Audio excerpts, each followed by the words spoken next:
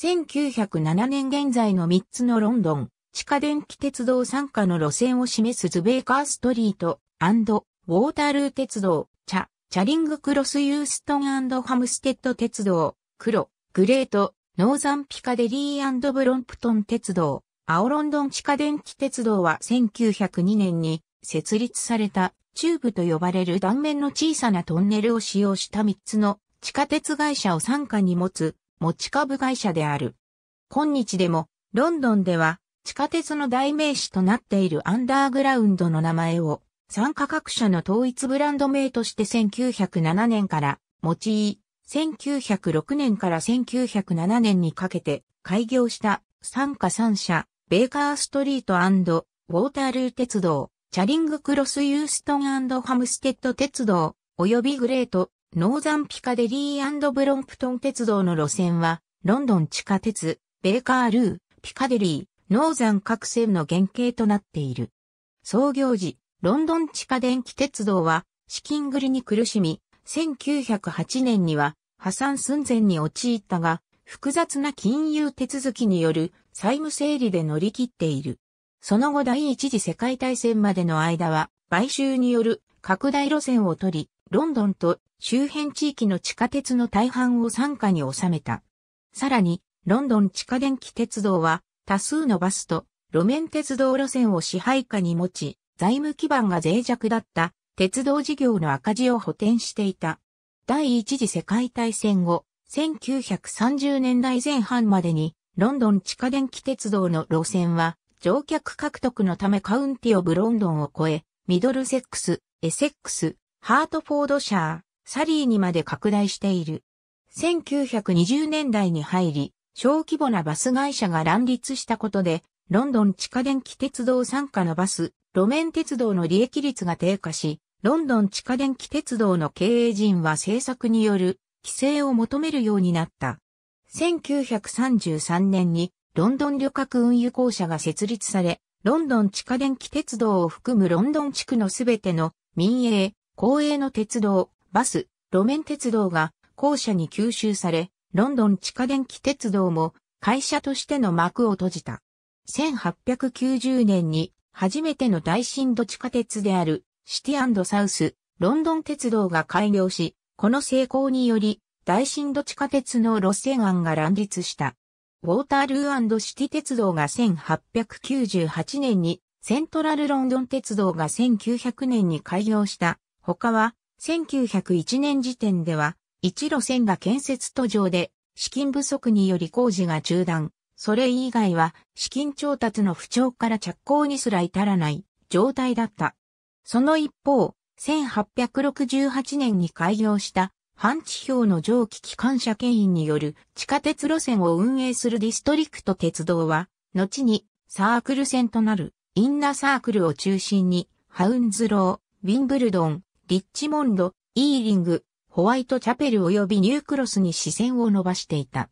1901年までには、ディストリクト鉄道とモーターバス、路面電車、セントラル、ロンドン鉄道との間の競合が激化、ディストリクト鉄道の乗客数の伸長は停滞期を迎えていた。競争優位を確保するため、ディストリクト鉄道は電化を検討するようになったが、ディストリクト鉄道の財務基盤は工事資金を自ら調達できる状態ではなかった。ディストリクト鉄道はこの時期までに混雑緩和のため、グロースターロードとマンションハウス間の季節線のもとに大震度路線を敷設する議会の許可を得ていた。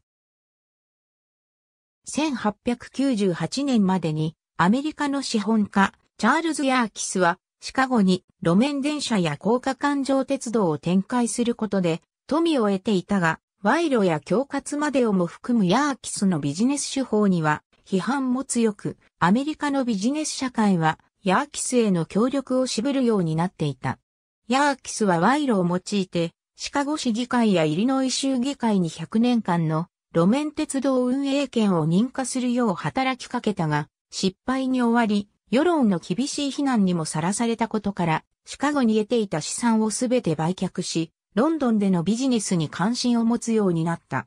1902年からロンドン地下電気鉄道の会長を務めたチャールズ・ヤーキスロンドンでヤーキスはまず、チャリングクロスユーストンハムステッド鉄道を買収した。チャリングクロスユーストンハムステッド鉄道は、チャリングクロスからハムステッド及びハイゲートへの大深度路線の議会許可を得ていたが、株式の売却は不調であり、建設資金を集められていない状態だった。多数の鉄道会社の顧問弁護士を務め、ルース選挙区選出の国会議員だったロバート・パークスは1900年9月28日にヤーキスとアメリカの投資家集団にチャリングクロスユーストンハムステッド鉄道を10万ポンドで購入することを提案した。パークスはヤーキスがチャリングクロスユーストンハムステッド鉄道の次に買収を検討していたディストリクト鉄道の大株主でもあった。1901年3月までに、ヤーキス以下の投資家集団は、ディストリクト鉄道の経営権を握り、電化を提案した。ヤーキスは1901年7月15日に、ヤーキス自身を社長とするメトロポリタンディストリクト電気鉄道を設立し、発電所の建設と電気車両の製造を含む電化計画の実現に10万ポンドの資金を集めた。パークスは1901年9月にディストリクト鉄道の会長に就任している。ブロンプトンピカデリー、ブロンプトンピカデリーサーカス鉄道はサウスケンジントンからピカデリーサーカスまでの大深度地下鉄の議会許可を得ており、この路線はサウスケンジントンでディストリクト鉄道が計画していた別の大深度地下鉄と接続する計画となっていたが、路線建設の資金を集められずにいた。1901年9月12日、ディストリクト鉄道の支配下にあったブロンプトンピカデリーサーカス鉄道の取締役会は同社をメトロポリタンディストリクト電気鉄道に売却した。ブロンプトンピカデリーサーカス鉄道は同じ月にストランドからフィンズベリーパークまでの路線建設許可を持っていた。グレート、ノーザンストランド鉄道の経営権を握っている。その後、ブロンプトンピカデリーサーカス鉄道とグレート、ノーザンストランド鉄道の路線は接続され、ディストリクト鉄道の大深度路線の一部に組み込まれることで、グレート、ノーザンピカデリーブロンプトン鉄道となった。1902年3月にヤーキスは、パディントンからエレファントカッスルまでの路線の建設許可を持つ、ベーカーストリートウォータールー鉄道を36万ポンドで買収した。ヤーキスのロンドンでの最後の鉄道会社買収案件である。ヤーキスが買収した他の会社は計画、資金集めの段階だったが、ベーカーストリートウォータールー鉄道の建設工事は1898年に始まっており、1900年に親会社であるロンドングローブ金融がワイテーカーライト社長の詐欺で経営破綻し、建設が中断した時点で工事はかなり進捗していた。ヤーキスは買収した各社がそれぞれの事情を抱えていることを考慮、建設計画を遂行するために持ち株会社であるロンドン地下電気鉄道を1902年に設立、各社を傘下に置くとともに自身が会長に就任した。1902年6月8日、ロンドン地下電気鉄道は株式交換と株式購入によりメトロポリタンディストリクト電気鉄道を買収した。ロンドン地下電気鉄道は500万ポンドの初期資本で設立された。ロンドンのスパイヤーブラザース、ニューヨークのスパイヤー、ボストンのオールドコロニーの3つの金融機関の支援を受け、各金融機関は出資金からそれぞれ25万ポンドを受け取ることになっていた。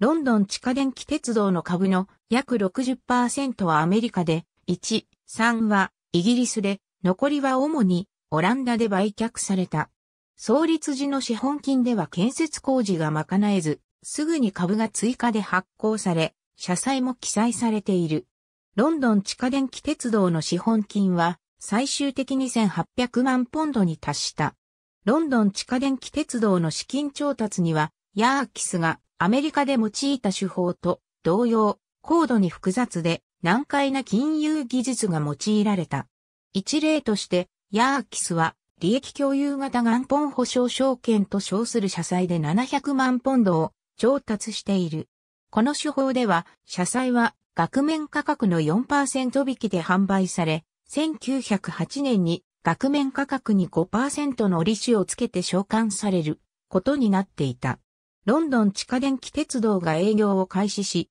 利益を上げるようになれば株価が上昇し、債券、株券を持つ投資家は利息と株価上昇の両面から利益が得られると想定された。ロンドン地下電気鉄道の全路線の電力を賄うために建設されたロッツロード発電所。当初は4機の煙突を備えていた。ヤーキスによって買収される以前、ディストリクト鉄道はインナーサークルを共同利用していたロンドンのもう一つの半地表地下鉄会社、メトロポリタン鉄道と共同で電化の実験を進めていた。アールズコートとハイストリートケンジントンの間の一部の路線が4000基上方式で電化され、両者共有の試験列車が1900年2月から11月にかけて運行された。この試験で電化運転の実用性が確認され、電化方式の検討を行う両者共同の委員会が設立された。委員会はハンガリーの電気会社ガンツが提案した参照、交流 3000V の方式を最有力としていた。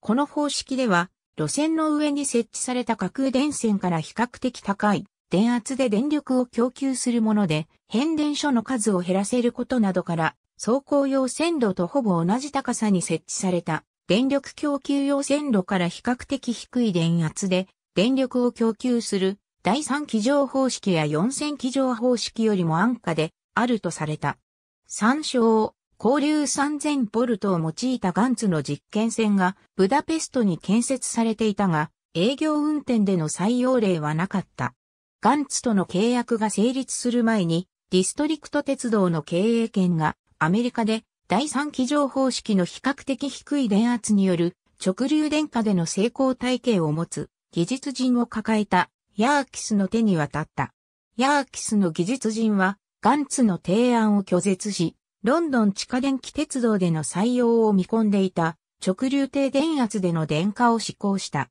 ディストリクト鉄道とメトロポリタン鉄道の間で戦わされたタイムズ紙上での公開討論を含む熾烈な議論の後、決定は商務省での採決に委ねられた。裁決委員会の長であったアルフレッド・リトルトンがディストリクト鉄道の方針に批判的であったにもかかわらず1901年に4000基上方式による直流電化の採用が決定された。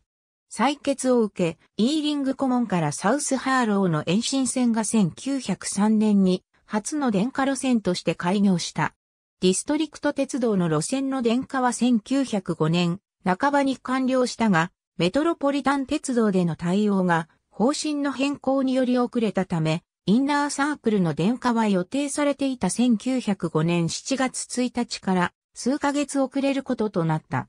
電化路線への電力は、チェルシークリークに設けられたロンドン地下電気鉄道のロッツロード発電所から供給された。ロッツロード発電所は、ブロンプトンピカデリーサーカス鉄道によって計画されたもので、1902年に着工し、1904年12月に完成している。ロッツロード発電所は1905年1月に稼働を開始、参照、交流1万1000ボルトを供給、鉄道路線の近くに設置された変電所で直流550ボルトに変換された。ロッツロード発電所はロンドン地下電気鉄道の全路線へ電力を供給してもまだ余力があり、将来の延伸に備える能力を持っていた。ディストリクト鉄道の最後の蒸気機関車牽引の列車が退役する1905年11月5日までにロンドン地下電気鉄道は170万ポンドの費用を電化工事に投じている。ラッセルスクウェア駅、レスリー・グリーン設計によるロンドン地下電気鉄道の駅の例。資金調達が軌道に乗り、ベーカーストリートウォータールー鉄道の建設が再開された。工事中断時点でトンネルの50%、駅構造物の25%の工事が完了していたが、1904年2月にはエレファントカッスルマリルボン間のトンネル工事が完了し、駅構造物の工事が行われている段階となった。グレート、ノーザンピカデリーブロンプトン鉄道とチャリングクロスユーストンハムステッド鉄道は1902年7月に着工し、ロンドン地下電気鉄道は1904年10月発行の年次報告書にグレート、ノーザンピカデリーブロンプトン鉄道の工事、進捗率は80%、チャリングクロスユーストンハムステッド鉄道は同75%と記載している。先行する大震度路線と同様、ロンドン地下電気鉄道の路線は土中をシールドマシンで掘削し、中鉄のブロックを円形にボルトで固定した後、薬液を注入して、ブロックの外側を硬化させて構築されたシールドトンネルを2本建設する工法で建設された。トンネルは道路の直下に2本を横に並行して建設することを基本としたが、道路幅が狭いところでは2本のトンネルが上下に並行に構築された。ロンドン地下電気鉄道が建設した3つの路線の駅の地上構造物は建築家、レスリー・グリーンの設計による標準化された構造のものとされた。駅舎は赤いテラコッタタイルが貼られた鉄筋構造で上階に半円状の窓を持つものが基本である。将来駅舎の上に商業施設を追設することを考慮し、駅舎の屋根は平面とされた。各駅には駅舎とホームを結ぶ2から4機のエレベーターと非常用、螺旋階段が設けられた。ホーム階の傾斜した壁面には、駅名標とレスリー・グリーンがデザインした駅ごとに異なる模様が配された。ロンドン地下電気鉄道では、ウェスティングハウス製の軌道回路を使用した前方の閉塞区間に列車が在線しているか否かで信号表示が決まる自動信号システムが採用された。信号は線路の脇に設置されたトリップアームと連動しており、信号が赤の時はアームが立ち上がる。列車が赤信号を越えて進んだ時は車両側のブレーキ配管に設置されたトリップコックが地上側のトリップアームと当たり、ブレーキが自動的に作動する仕組みであり、日本ではダッシュ式 ATS と呼ばれているものである。スパイヤーブラザースの会長で、1906年からロンドン地下電気鉄道の会長を務めたエドガースパイヤーディストリクト鉄道の電化工事は急ピッチで進んだものの、その完成を見ることなく、ヤーキスは1905年12月29日にニューヨークで死去し、代わってエドガー・スパイヤーがロンドン地下電気鉄道の会長に就任した。スパイヤーはロンドン地下電気鉄道の支援を行っていたスパイヤーブラザースの会長であり、ニューヨークの金融機関スパイヤーの支援者でもあった。ノースイースタン鉄道のゼネラルマネージャーだったジョージ・ギブがロンドン地下電気鉄道の社長となった。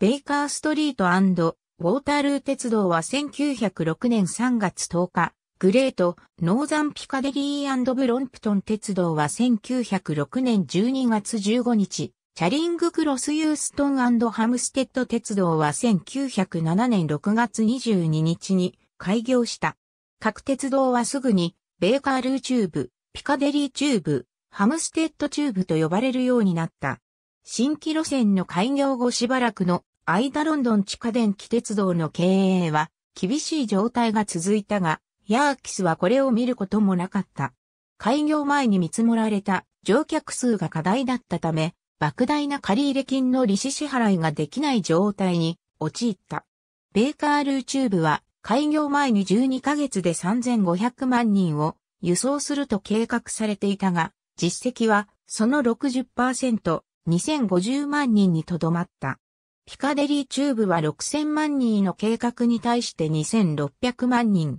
ハムステッドチューブは5000万人の計画に対して2500万人だった。ディストリクト鉄道は電化により利用客が1億人に増加すると計画されていたが、実績は5500万人に終わっていた。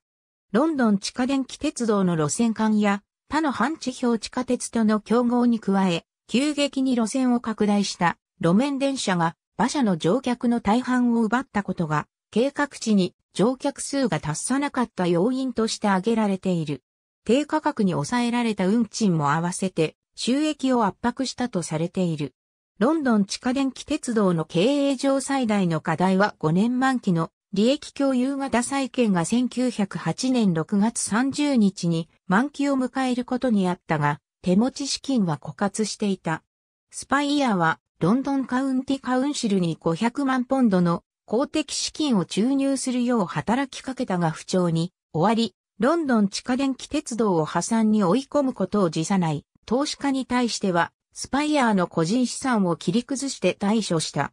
スパイヤーとギブは出資者が持つ社債を1933年から1948年にかけて返済する長期債務に切り替える合意を取り付け、危機を乗り切った。スパイヤーとギブが債務整理に当たるのと並行して1907年にロンドン地下電気鉄道のゼネラルマネージャーに就任したアルバート・スタンレーは経営体制を改めることによる収益の改善に着手した。スタンレーは営業マネージャーだったフランク・ピックと共にロンドン地下電気鉄道の参加に入っていない路線を含むすべてのロンドンの地下鉄路線をアンダーグラウンドの統一ブランド名でまとめるとともに予約システムや統一運賃を導入することで乗客数を増加させる施策を取った。1908年に発表された最初のアンダーグラウンド路線図。ロンドン地下電気鉄道の路線に加え、他の地下鉄会社やメトロポリタン鉄道の路線が記載されている。1909年、ロンドン地下電気鉄道はアメリカの投資家集団による反対を押し切り、ベーカールー、ハムステッド、ピカデリーの3つの中部路線を正式にロンドン電気鉄道に統合する個別的法律案が国会に提出されたことを発表した。この法案は1910年7月26日に1910年ロンドン電気鉄道統合法として国王裁可を得た。この時、ディストリクト鉄道は中部3路線とは別会社のまま残されている。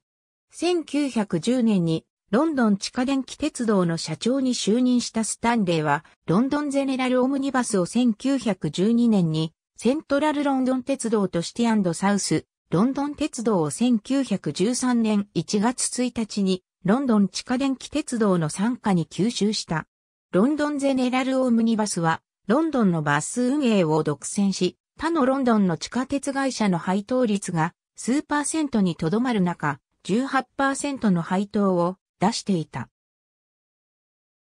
ロンドンゼネラルオムニバスの上げる高い利益により、ロンドン地下電気鉄道傘下各社の赤字が補填された。ロンドン地下電気鉄道は、ブリティッシュエレクトリックトラクションと共同所有した、ロンドン近郊鉄道会社を通じ、ロンドンユナイテッド路面鉄道、メトロポリタン電気路面鉄道及び、サウスメトロポリタン電気路面鉄道の経営権を握った。ロンドン地下電気鉄道は、バス製造会社である、アソシエイテッドエクイプメントの経営権も握った。巨大化したロンドン地下電気鉄道は大企業連合とみなされるようになり、メトロポリタン鉄道とウォータールーシティ鉄道だけが、ロンドン地下電気鉄道傘下に入らずに残った、ロンドンの地下鉄会社となった。ブロードウェイ55番地のロンドン、電気鉄道本社ロンドン地下電気鉄道は、郊外に路線を延伸し、沿線の住宅地としての開発を促すことで、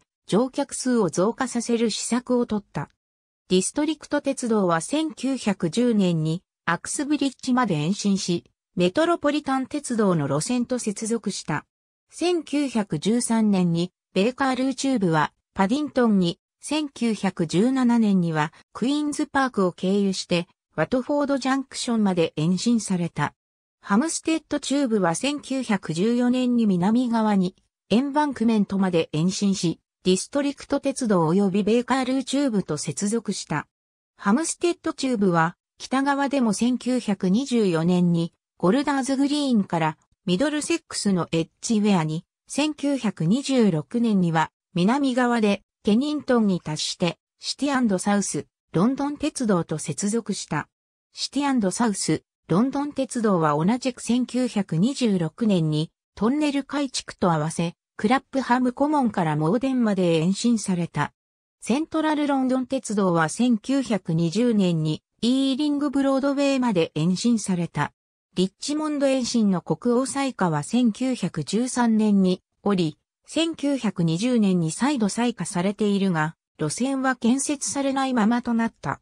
後年、1932年から1933年にかけて、ピカデリーチューブは両端で延伸が行われ、北側はフィンズベリーパークからコックフォスターズへ、西側はハマースミスからディストリクト鉄道の線路に乗り入れて、ハウンズロー、アクスブリッジに足を伸ばした。並行して、ロンドン市内中心部の混雑が激しい駅の近代化計画が推進され、エレベーターを撤去してエスカレーターを新設する工事が行われた。心臓や更新により、車両両端に手動式ゲートを設置していた車両が中央寄りに自動ドアを設置した車両に置き換えられ、乗降時間の短縮が図られた。1920年代半ばには巨大化した組織に対応するため、チャールズ・ホールデン設計による新本社がセントジェームズパーク駅の直上にあたるブロードウェイ55番地に建設された。1920年代初期からピラーツと呼ばれる無統制の多数の零細バス会社との競合が激化してロンドンゼネラルオムニバスの乗客が減少。バス事業の利益率低下によって、持ち株会社であるロンドン地下電気鉄道の利益率も悪化したため、スタンレーはロンドン周辺の公共交通を統制するようロビー活動を行うようになった。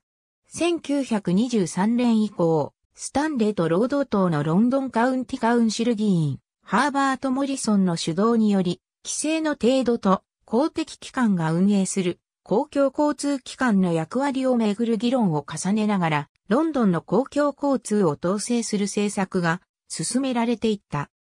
スタンレーはこの政策を通じて、ロンドン地下電気鉄道グループが競争から保護されるとともに、ロンドンカウンティカウンシルが運営する路面鉄道を支配することを目論む一方で、モリソンは公的機関がロンドンの公共交通すべてを運営することを考えていた。7年に及ぶ議論の末、1930年末には、ロンドン地下電気鉄道、メトロポリタン鉄道及びすべてのロンドン地区のバスと、路面鉄道の運営を引き継ぐ、ロンドン旅客運輸公社の設立が発表された。1910年に、ロンドン地下電気鉄道参加の3つの地下鉄会社の統合を実現した際にも、スタンレー自身が投資家を説得していたが、公社設立にあたってもスタンレーの卓越した説得能力により、ロンドン地下電気鉄道の株主の合意を得ている。国有化ではなく、公的機関による保有という妥協策を取った結果、後者の経営陣はスタンレーを会長に、ピックスを常務に迎えることになった。ありがとうございます。